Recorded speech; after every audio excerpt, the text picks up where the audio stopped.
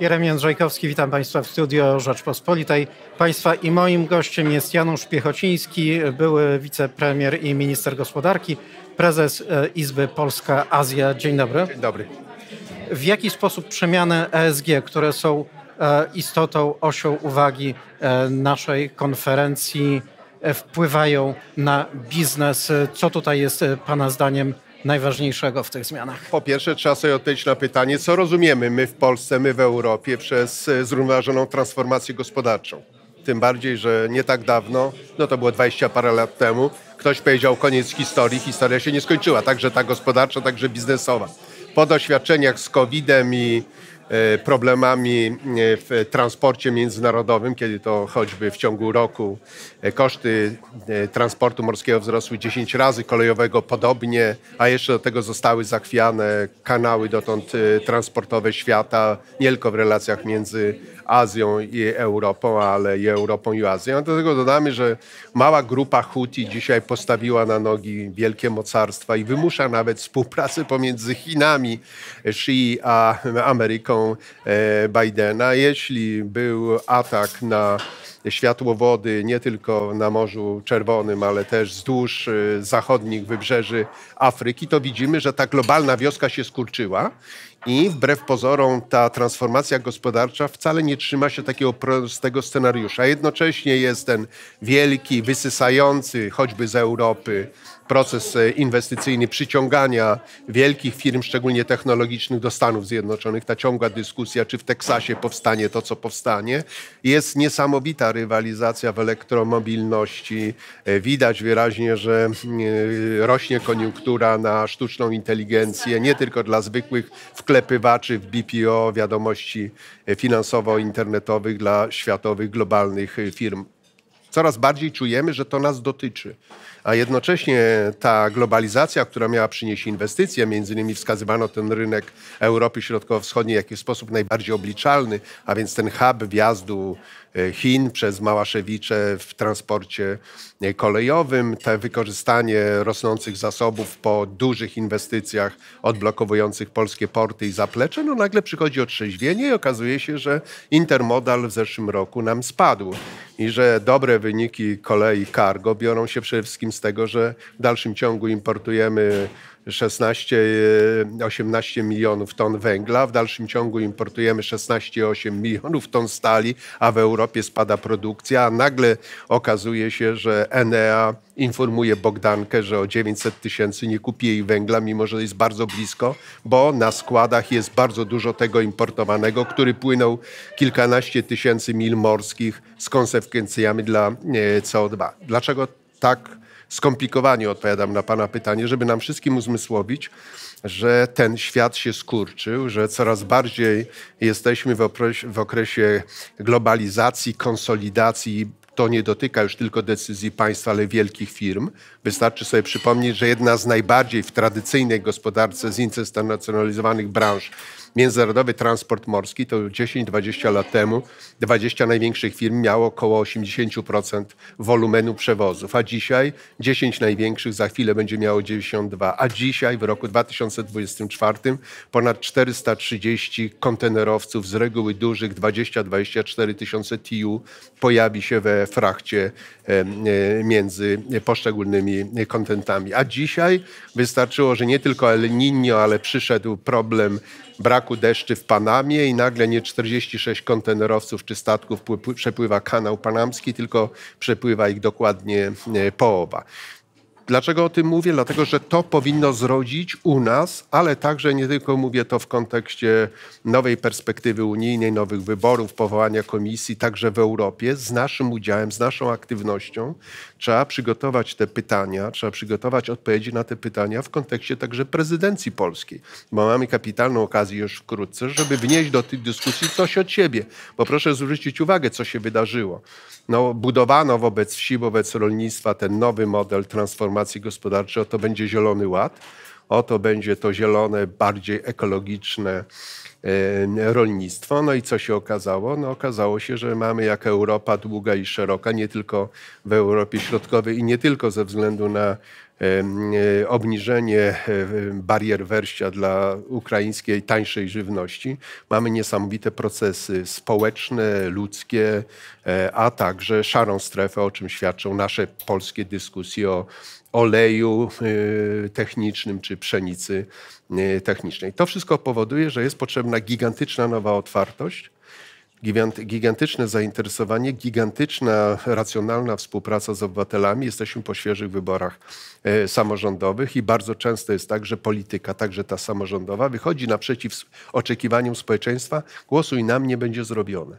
A nie ma ze strony polityki, także tej samorządowej, nie ma ze strony tego przywództwa na poziomie państwa, na poziomie regionów, na poziomie samorządu informacji, co my mamy zrobić my, obywatele, co mają zrobić biznes, jak do tego podejść, no bo z łatwością można powiedzieć, my nie chcemy żadnych barier celnych, bo wolimy chińskie czy wietnamskie samochody elektryczne po 150 sztuka, a nie po 390, jak ostatnia e, wystawa, czy 460 pokazała, bo przecież kupujemy kieszenią, bo choćby wystarczy przypomnieć sobie przykład. Pół roku temu na polskim rynku pojawiło się Temu, pojawił się Shane. No i nagle Shane informuje nas, że ma nie tylko już jedną paczkowalnię na Dolnym Śląsku, ale za chwilę będzie miał kolejną. Informuje nas, że w zeszłym roku, mimo że handluje najtańszymi ciuchami, to do Stanów Zjednoczonych pocztą lotniczą wysłał 400 tysięcy ton tej odzieży, a w Europie, mimo że to jest na bariera tam 250-300 euro dla tej sztuki e, odzieży, to 300 tysięcy e, ton.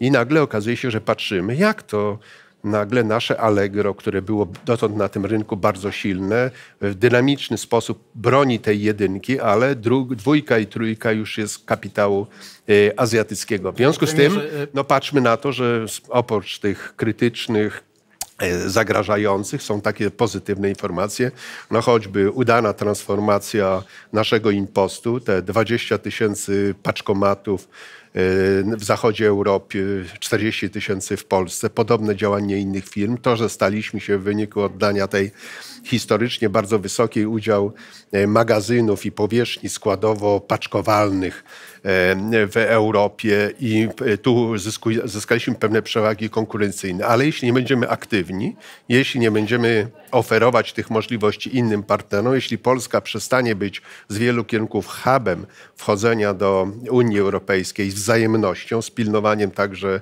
otwierania rynków na Azję, dlatego jest potrzebny nowy impuls polityczny, i proszę zwrócić uwagę, ku mojemu zaskoczeniu, jak fatalnie przez społeczeństwo, nie tylko czy przez znaczną część komentatorów czy społeczeństwa przyjęto wizytę prezydenta Dudy e, we wschodniej Afryce, tylko w kategoriach, ile taka wizyta kosztuje w najmie y, powierzchni hotelarskiej y, licznej delegacji. Tak jakby zapomnienie, że ten poziom prezydent, premier, ministrowie to jest jeden z istotnych elementów dobrze oby przygotowanej internacjonalizacji polskich firm, polskiego biznesu, no bo musimy sobie to jasno wyraźnie powiedzieć, że od roku 2014 już nawet w deklaracjach nie mówimy o świecie regulowanych umowami o wolnym handlu, tylko mówimy o świecie, który jest silnie przesycony protekcjonizmem, czy nacjonalizmem. Tylko najgorsze jest to, kiedy my z łatwością, szczególnie te branże zagrożone konkurencyjnością lepszych towarów czy lepszej usługi zewnętrznej mówią wprowadzajcie cła, chrońmy ten rynek, ale wszyscy chcemy, żeby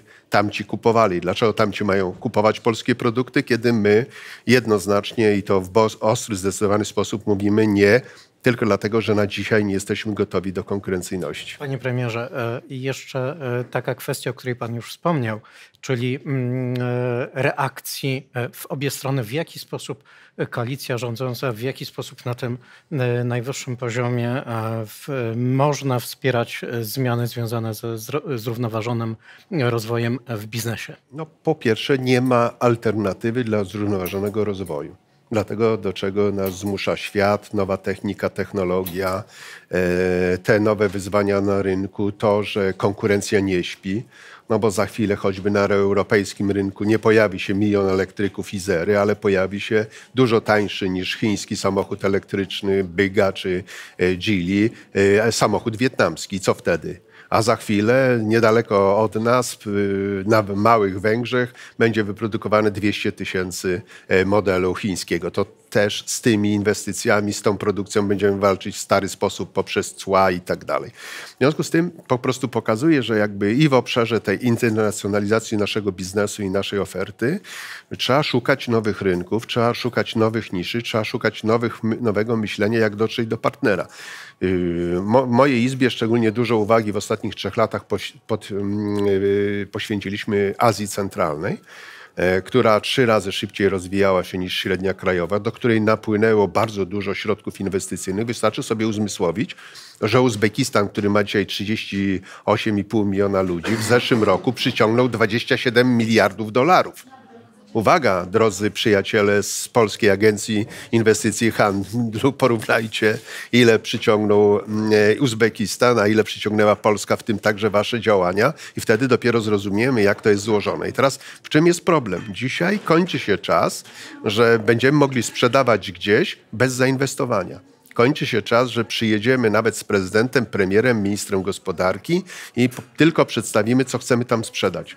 Jeśli nie zapytamy, co chcemy też u nich kupić, co chcemy razem zrobić, jeśli na początek nie zaproponujemy miejscowemu partnerowi, że zrobimy minimum głęboki montaż, to za chwilę rynki zachodniej Afryki, czy wschodniej, czy rynki Azji Centralnej, czy inne rynki, czy Ameryki Środkowej będą niedostępne, bo oczywiście to cieszy, że choćby w ostatnim roku sprzedaliśmy, w ostatnim sezonie jabłkowym sprzedaliśmy 5 tysięcy e, ton jabłka do Kolumbii, tak? No ale w zderzeniu z 4,5 milionami ton polskiej produkcji, z czego minimum milion 300, milion 500 tysięcy ton powinno być sprzedane na e, zewnątrz, to jest zupełnie nowe wyzwanie. I dlatego z młodymi naprzód iść, po życie sięgać nowe, zywał nas e, klasyk e, polskiej literatury i to musi dotyczyć każdego dnia. I dlatego to, co jest dzisiaj największą w mojej ocenie słabością polskiego biznesu, ale i polskiej polityki, ale i polskich działań e, przy słabej wydolności aparatu państwowego. No wystarczy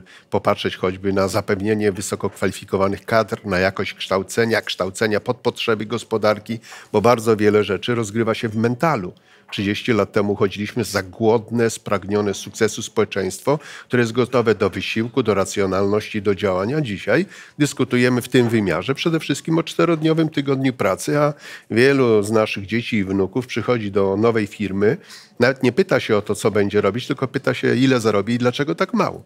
W związku z tym też trzeba mieć świadomość, że w tym obszarze mentalu, jakości, by, żebyśmy nie tylko byli wybitnymi indywidualistami, singlistami, ale żebyśmy tworzyli zespołowo, żebyśmy potrafili na przykład zdobywać inne, inne rynki wspólnym działaniem polskich firm. Bo proszę zwrócić uwagę, po 30 latach transformacji my mamy dosłownie kilka czy kilkanaście firm, często w wąskich branżach, gdzie można powiedzieć, że jesteśmy w pierwszej trójce czy w pierwszej piątce świata.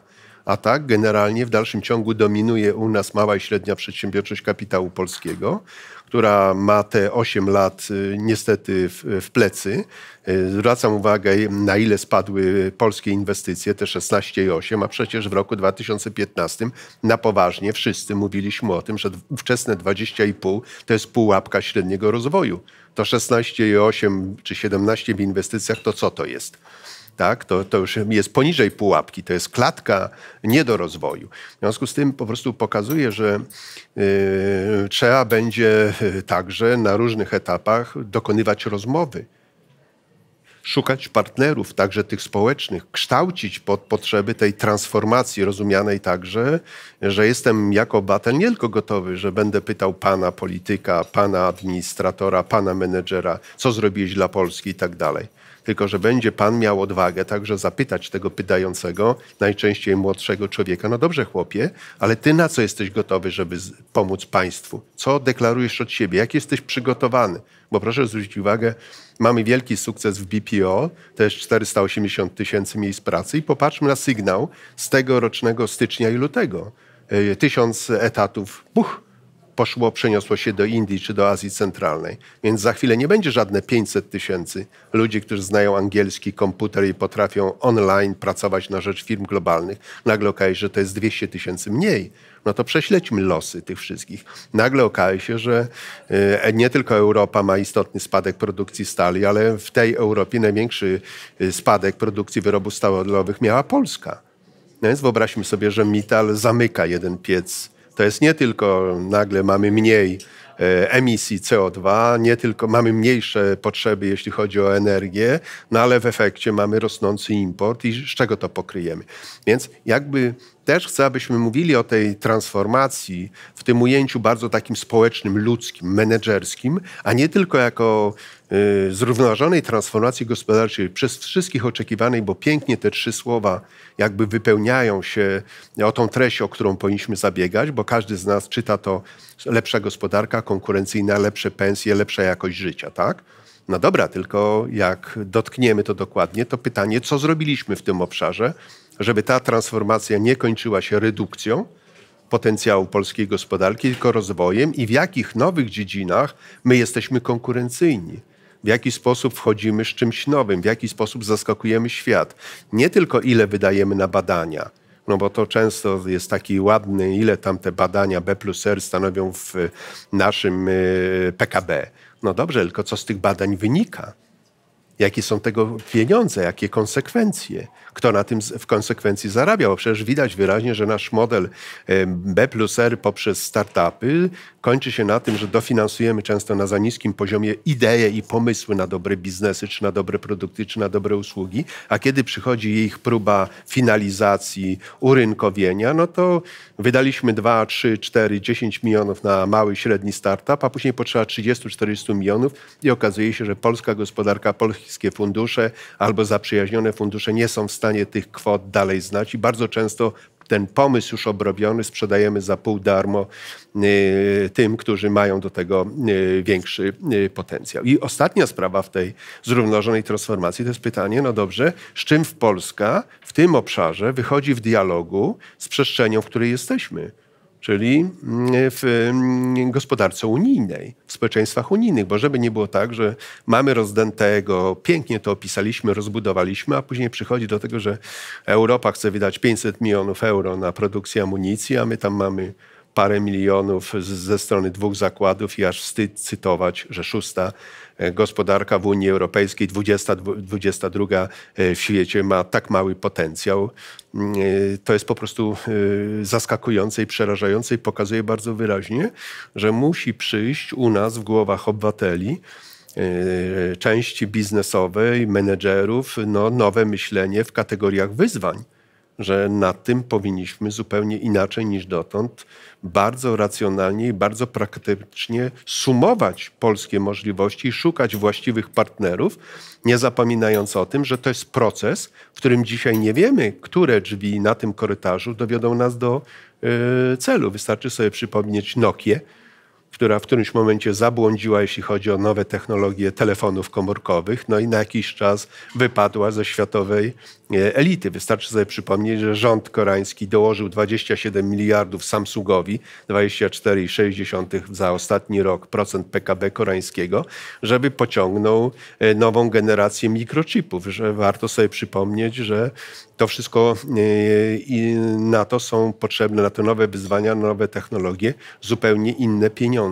No i oczywiście w ramach tej zrównoważonej transformacji gospodarczej trzeba mówić o bezpieczeństwie, nie tylko tym IT, nie tylko bezpieczeństwie w chmurze, nie tylko o bezpieczeństwie medycznym, ale dzisiaj w kontekście tego, co dzieje się na Ukrainie i braku perspektywy szybkiej do zakończenia tego konfliktu, no perspektywie bezpieczeństwa rozumianego bardzo szeroko no bo cóż z tego, że kupimy 2000 czołgów i armatochaubic, niestety najczęściej z zewnątrz, skoro nie będziemy mieli 40 tysięcy ludzi, którzy potrafią tym jeździć i z tego strzelać, a nikt przecież nie pójdzie pracować do takiego wojska za 4 czy 6 tysięcy brutto pensja minimalna, czy półtorej pensji minimalnej.